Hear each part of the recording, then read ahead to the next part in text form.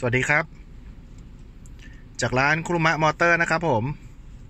วันนี้นะครับจะมารีวิวนะครับ AV Interface นะครับ Ford Everest นะครับซิง3นะฮะ ตัวนี้นะครับเสียงผ่าน USB เหมือนเดิมนะครับ Decoding USB นะฮะ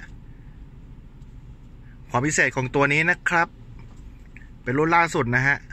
สี่คอนะครับแรมสองนะฮะแรมสองนะครับ ปกติจะเป็นแรมหนึ่งนะฮะรอมสิบหกนะครับ Android หก นะฮะคอดีโหลดโหลดเร็วนะฮะจากเดิมที่โหลดช้านะตัวนี้โหลดเร็วมากนะฮะใช้งานเพลินๆนะฮะไม่ต้องรอเหมือนตัวแอดัมหนึ่งนะฮะการใช้งานก็จะคล้าย ๆ ของเดิมนะครับผม แต่การโหลดแอปโหลดอะไรมารวดเร็วนะครับ USB ตัว interface มีให้ 2 ช่องนะฮะ เสียงผ่าน USB นะครับ ที่หน้าจอหลัก ใช้งานได้ปกติเลยนะฮะ เลือกซอสเป็น USB นะฮะ เข้า interface ผ่าน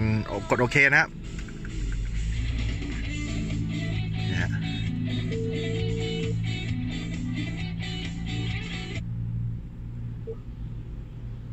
ใช้งาน Google Map ได้นะครับผม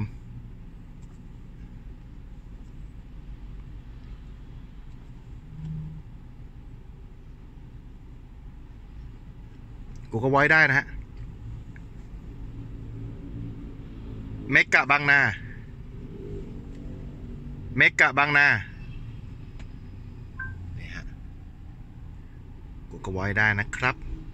สั่งงานด้วยเสียงได้นะครับนำทาง กูก็แมปได้เลยนะฮะ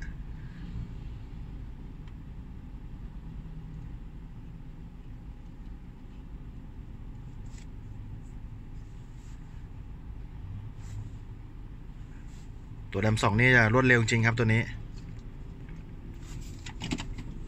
มุ่งหน้าทางเหนือไปตามถนนหมายเลข 3344นะครับ ใช้งานพวก Google อะไรอย่างนี้รวดเร็วมากนะฮะ กล้องถอยในโหมดอินเทอร์เฟซได้เหมือนเดิมนะฮะ ครบถ้วนนะครับ เล่นไฟล์หนังไฟล์เพลงผ่าน USB ได้นะ